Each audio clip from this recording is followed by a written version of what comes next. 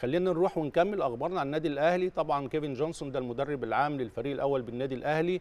آه، عمل فقره تصويبات خلال مران الفريق النهارده آه، مساء على ملعب استاد التتش طبعا جونسون قام كمان بتقسيم اللاعبين لعدة مجموعات للانتظام في فقرة التصويب. آه، دي طبعا كلها بت- بتيجي في التحضير لمباراة طلائع الجيش وبالتالي يعني كمان دور مهم جدا للمدرب العام جونسون. ده يعني راجل شكله فاهم كويس قوي وعنده علاقة جيدة جدا جدا مع موسيماني النهارده بيعمل تشكيلة أو بيعمل جزء من التمرين على التصويب على المرمى وده جزء مهم جدا جدا آه، يعني آه، وشفناه في مباراة النادي الأهلي. بدأ النادي الأهلي عندنا لعيبة بتصوب من من بره ال 18 فكل ديت عملية تحضيرية لمباراة طلائع الجيش. أكيد طبعا. النهارده كمان يمكن مروان مروان محسن المهاجم مهاجم الفريق الأول لكرة القدم في النادي كان آه، له مشاركة في التدريبات الجماعية للفريق.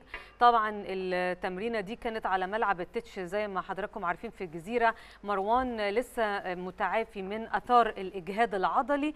كان بيشتكيه ويمكن هو ده اللي أبعده عن إنه يشارك في التدريبات الجماعية في الأيام اللي فاتت. لما حتى كنا بنتكلم هنا كان مروان مبتعد شوية بسبب الإجهاد ده.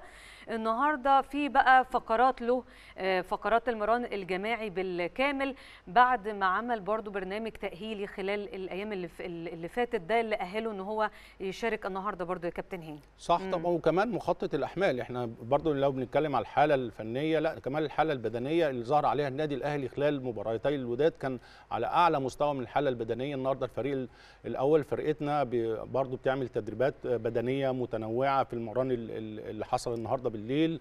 آه، وحدات تدريبيه متنوعة زي ما إحنا شايفين كل ديت عملية عملية آه، يعني عملية. الحفاظ على الحالة البدنية. وده مهم جدا إزاي تحافظ على المستوى البدني آه، في خلال ال- الفترة ديت علشان ان شاء الله بإذن الله دايما ما بنقول إن الحالة البدنية هي يعني هي الأرض الأرض الصلبة اللي بيبني عليها كمان المدير الفني الحالة الفنية للعيبه